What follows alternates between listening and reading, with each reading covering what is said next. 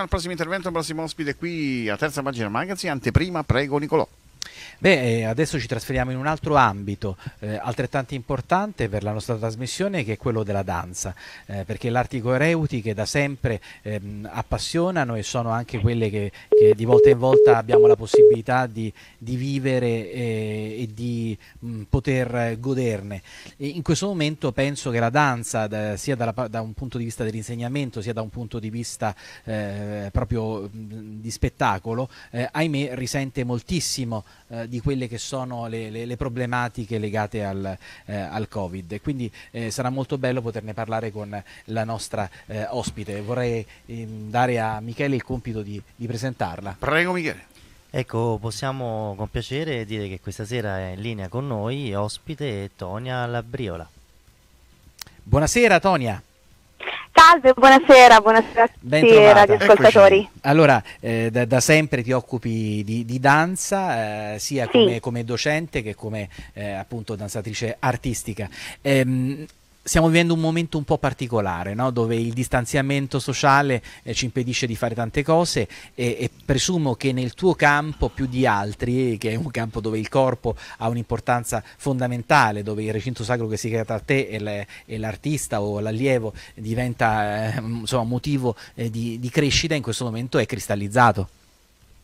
Certo, assolutamente, stiamo vivendo un periodo veramente che ha dell'assurdo, del paradossale, dove facciamo un'arte talmente bella e talmente di contatto che ci viene vietato proprio ormai da mesi.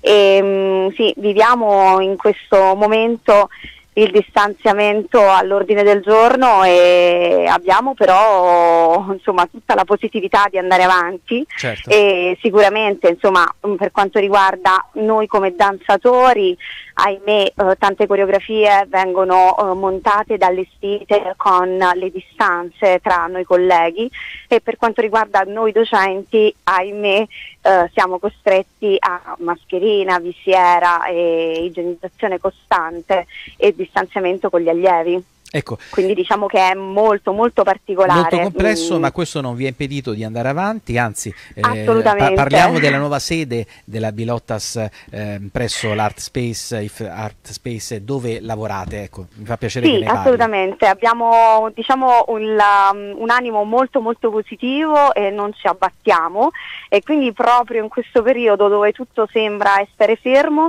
abbiamo diciamo, creato una nuova succursale della Bilottas Dance Academy con un mio collega ed un amico fidato e storico e all'interno di questo polo artistico che è l'IFART Space nel quartiere di Nomentana Talenti a Roma dove teniamo puntualmente a cadenza settimanale corsi di danza classica, danza moderna, hip hop e tanto altro. Diciamo che è una situazione in fermento e che tende alla crescita. Quando ci sono cose nuove è sempre bello eh, poterle insomma far crescere. Quindi ricapitolando, eh, c'è una sede centrale che si trova La sede centrale è la Bilottas Dance Academy che si trova in via Flaminia 1078, ormai sede storica, e, mm, e da lì poi abbiamo questa succursale nella zona uh, talenti, ecco. in modo tale da Ed è rivolta poi... a chi? Ed è rivolta a bambini che eh, partono dai 4 anni fino ad arrivare alle ragazze eh, insomma intorno ai 18-20. Parli di ragazze perché è rivolto soltanto al femminile o anche ai ragazzi? No, no ragazzi, ragazzi. Ah, ecco, perfetto. Quindi no. è la danza è aperta. Sì, sì, no, lo, diciamo lo, che, lo volevo uh, sottolineare perché ehm, voglio dire, i nostri ascoltatori in questo modo possono avere delle coordinate, diciamo, precise rispetto a, a, a, questa, è tendenzialmente femminile, sì, sì. tendenzialmente femminile, ma insomma ci sono tanti anche maschietti che approcciano a questa nuova arte e tanti poi professionisti, insomma, professionisti del settore che ehm, insomma, danno eh, lusso all'arte della danza, insomma siamo pieni, quindi siamo veramente poliedrici e um, in c'è sempre la ragazzina, la bambina perché è molto più facile, però certo. quando un maschietto si approccia alla danza è Vuol veramente dire che c'è passione, passione profonda. pura. Eh, Michele Vitiello per una domanda a Tonia. Sì, domande ne ho tantissime. Una, diciamo, una tra le tante è eh, qual è il consiglio che possiamo dare ai genitori quando notano il figlio o la figlia comunque molto, eh, come dire, presi dalle musiche, perché spesso i bambini danzano, ballano a modo loro davanti alla TV. Quindi eh, quali sono i consigli che possiamo dare a chi ci ascolta e indirizzarlo magari nella vostra scuola allora, di danza parto, o di danza in genere? Parto dalla mia esperienza personale. Io ho iniziato a quattro anni a stare incollata davanti alla televisione e a ballare tutto il tempo. Da lì consiglio ai genitori di portare le proprie bambine, eh, i figli, i bambini, insomma, a, in una scuola di danza e sperando insomma di affidarsi a gente competente che abbia occhi per vedere e sapere nel cuore e nelle mani, perché purtroppo è un mondo pieno di um, insomma, di gente anche improvvisata. purtroppo sì, è vero. Tu, tu invece hai un curriculum alle spalle noto, perdonami. Cioè, sì, io vabbè, oddio, da assistente io a non questo. solo. Io ho sempre fatto questo perché mi è sempre piaciuto, sono mossa da passione e ho avuto una famiglia che mi ha sempre appoggiato e questo è importante, ecco perché ritornando al consiglio appoggiate le passioni dei figli perché prima o poi portano veramente al successo, comunque alla realizzazione.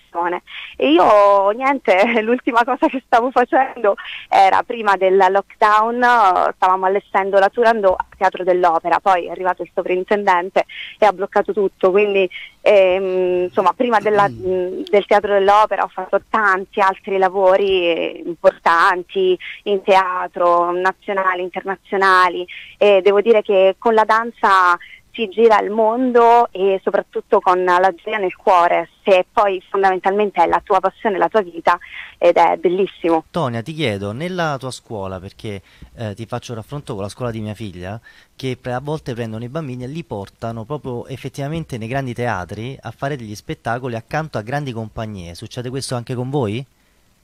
Sì, guarda, mi hai colto diciamo, nel segno perché quest'anno stiamo lavorando sulla creazione di una piccola compagnia che uh, vedrà nei prossimi mesi ovviamente sia uh, professionisti del settore ma anche allievi più meritevoli in un piccolo tour nazionale, perché no, in cuor nostro speriamo a fine 2021 di riuscirli a portare anche all'estero, quindi è bello quando ovviamente devi crederci nelle cose, se non credi realmente nella tua passione e mh, mm, diciamo in quello che fai e non affianchi questa tua passione a un grande sapere, difficilmente succede cose.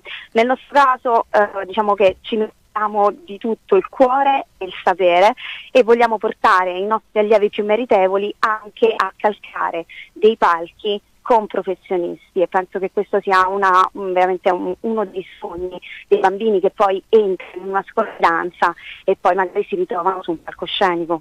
Grandioso, complimenti. Complimenti veramente, complimenti veramente. Io ecco, in chiusura voglio chiederti, ecco, una mia curiosità, io chiedo sempre curiosità. Eh, qual è stato sì. il teatro che ti ha segnato? Qual è stato il teatro? Perché il teatro che ti ha segnato interiormente, quello che ti ha dato più un'emozione che l'hai sentita proprio come sei entrata in questo teatro. Allora, io uh, prima di quest'ultima occasione della Turandot avevo mh, mm, 20 anni e ho fatto il mio primo ingresso al Teatro dell'Opera e quello mi è rimasto nel cuore perché mm. Ero veramente una del corpo di ballo e poi ovviamente piano piano piano piano sono riuscita a diventare solista eccetera eccetera e, mm, ed ero talmente piccola davanti a dei grandi con una platea enorme e con un palco all'italiana bellissimo con uh, diciamo, quel rosso e quell'oro e, e, diciamo, è un'immagine che resterà per sempre nel mio cuore. Grazie sì. Tonia per le tue parole, grazie per questo complimenti, intervento. Complimenti di cuore, veramente. Grazie allora, mille a voi, veramente. All'Accademia Billottas Academy avremo modo di ritrovarti e di assistere a, a queste iniziative eh, così belle. Sì, piene, siamo, piene questo di, è un anno di grande lavoro e quindi procediamo senza sosta. E perché no, sul posto? Eh? Vivere questa emozione sarà unica e rara. Grazie a Tonia Labriola, certo. grazie di essere qui con noi a Terza Pagina Magazine, grazie ancora. Buona serata. Grazie, grazie mille, arrivederci.